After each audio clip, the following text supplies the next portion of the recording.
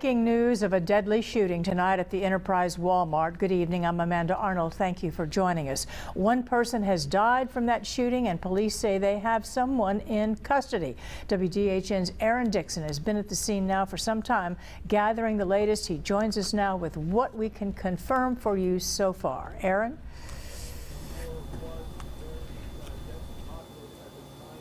Amanda, I'm on the scene of the Walmart in Enterprise, and what was called in is an active shooter situation, but that's not what police are calling it. They say it was an argument between two men in the parking lot that escalated into the Walmart.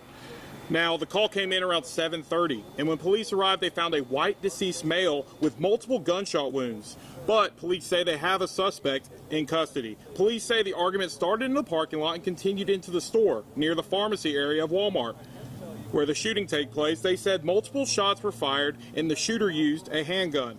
The argument was between two males, and individual sources are telling WDHN that the victim was a father of three, but police are unable to confirm that at this time. Now, police are still on scene, as I am seeing around 11 cop cars. Police cannot confirm that people were held in the store so that police could interview eyewitnesses. Police gave us an update within the last hour. Um, the initial call was there was an active shooter. Uh, that turned out not to be the case.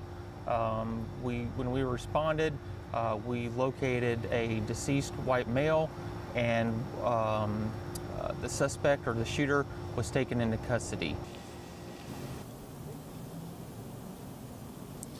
Now, Hagelin also adds that no other injuries were reported to them and that more information will be available in the morning as they will be holding a press conference. So stick with WDHN as we continue to follow this case as it is still an active investigation. In Enterprise, Aaron Dixon, WDHN News for the Wiregrass.